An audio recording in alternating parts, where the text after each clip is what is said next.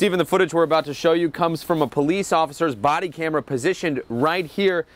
And as you can see in that footage, things get out of hand quickly on what should have been a routine operation.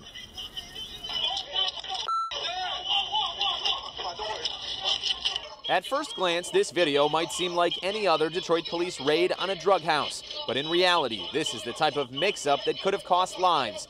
More than two dozen heavily armed officers from the 11th precinct raiding a home, unaware they're facing undercover cops from the 12th precinct posing as drug dealers.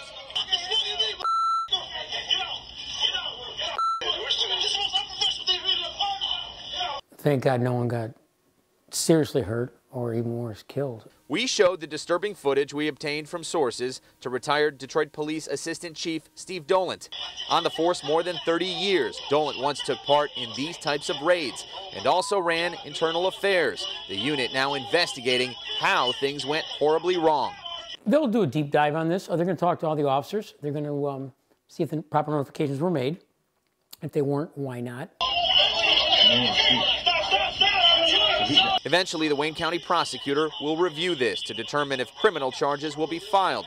The police chief already admitting a breakdown in communication prior to the incident Thursday night near Seven Mile and Andover. They appear to be like Keystone cops. I could not agree more. Very embarrassing to this organization. Thankfully, no officers were seriously hurt, unlike three decades ago when two died under similar circumstances. Radden was a young guy just starting his career, and I believe he was single. Buffa was married and had a family, and uh, it really uh, rocked the department. Two officers are now off the streets. A supervisor has also been reassigned. We will keep you updated as soon as we learn more about this situation. Live downtown, Simon Shaykhet, 7 Action News. Yeah, we'll keep